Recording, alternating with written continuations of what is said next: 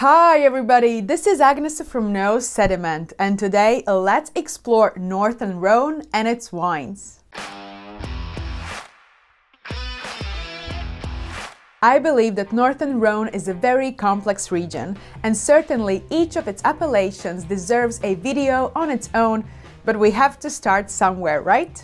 Therefore, even though the Northern Rhone is smaller than Southern Rhone and even smaller than the Châteauneuf-du-Pape appellation, many of its appellations are well known worldwide, highly praised and respected. Think of Côte-Rôtie, Hermitage and Condrieu alone. I once read in one of the leading wine magazines I don't remember who said it though, but they noted that even though Southern and Northern Rhone share a similar name, they couldn't be more different in terms of geography, climate, and wine style. And indeed, as I learn and explore these two parts of Rhone Valley, they are so very distinctive. From viticulture to winemaking and ultimately in the wines they produce. Some time ago I made a video about the Southern Rhone, so today let's finally explore Northern Rhone. The Rhone Valley is located in southeastern part of France. Unlike the southern Rhone, the northern Rhone is defined by a dramatic landscape with vineyards planted on very steep slopes, oftentimes on terraces. These vineyards are situated within a rather narrow strip close to the Rhone River itself. The majority of these vineyards are located on the western side of the river, while Crozes Hermitage and Hermitage are located on the eastern side. The climate here is more continental compared to the southern Rhone, resulting in higher diurnal temperature shifts and more pronounced seasons. Similarly as in southern Rhone, here too the cool, dry and knocking you from your feet Mistral has a significant impact on the region. This wind is often the reason why initially wines are planted at the angle, allowing them to straighten up over the time by the force of Mistral. It also plays a beneficial role in significantly reducing the pressure of fungal diseases. Unlike the Southern Rhone, we find fewer grape varieties of importance here in the Northern Rhone. The only reigning red grape variety is Syrah, and its expression in Côte-Rôtie and Hermitage is considered by many to be the most classic examples of this grape variety. Syrah produces dark-colored wines, oftentimes with rich and dense body and firm tannin structure. However, there are three white grape varieties allowed in the appellations of Northern Rhone, which are Viognier, Marsanne and Roussanne. While many argue that Viognier is the most important white grape variety of the three in the area, it is certainly the best known. After all, it has its own appellations such as Condrieu and Chateau Grillet, producing rich, aromatic, ripe stone fruit-packed wines with phenolic backbone. However, in my own opinion, Roussanne is the hidden gem of the region. Though rarely found standalone and often blended with Marsanne, and more often than not playing a minority role, it actually offers beautiful aromatics, a lively acidic backbone, and thus also provides great aging potential. For those of you who rush to comment that it must not be that great if it is not the main player, the simple answer is that it is very difficult to grow. And lastly comes Marsanne, which is also an aromatic grape though slightly less than Roussanne and offers more body and rather oily texture to the wine.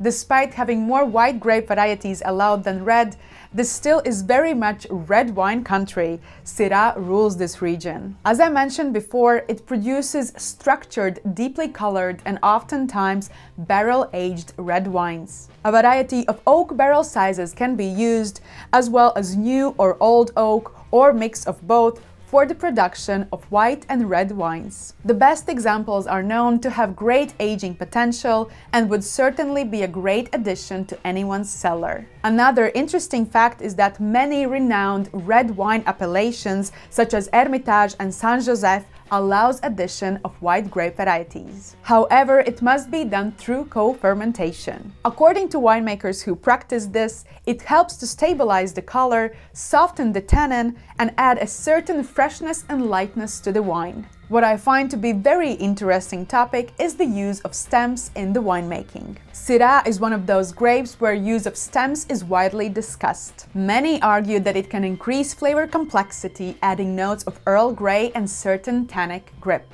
And some winemakers will allow partial whole cluster fermentation, adding more sweet fruit to the flavors and maybe slightly soften the tannin structure. There is a minuscule amount of bottle fermented sparkling wine produced here as well, mainly in the Saint-Péray appellation. Even rarer is the Vin de Paille style made from grapes dried outside, making wines with certain richness and sweetness.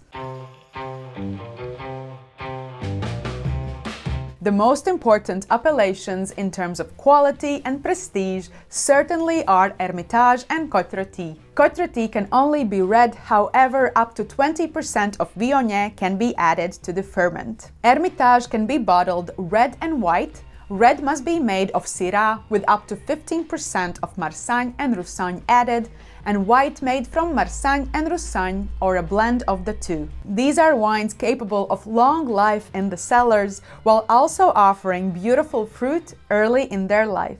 It is possible to find great bargains in Crozes Hermitage as well, though one must know where to look. It will usually be lighter and more accessible in its youth, offering more immediate fruit and oftentimes less concentration or depth. Often described as less refined or more rustic are the appellations of Saint-Joseph and Cornas, though I believe they can offer great value for those of us who love the expression of Syrah here. Cornas is the only red wine appellation that must be made from 100% Syrah while Saint-Joseph allows up to 10% addition of Marsanne and Roussanne. We of course cannot forget about two exclusive white wine appellations, Condrieu and Monopole Chateau Grillet. Both must be made from 100% Viognier, an aromatic white grape variety capable of producing wines of full body and high concentration, as well as developing elevated alcohol levels. There are epic Condrieu wines produced, and they are not so great examples also widely available in the market.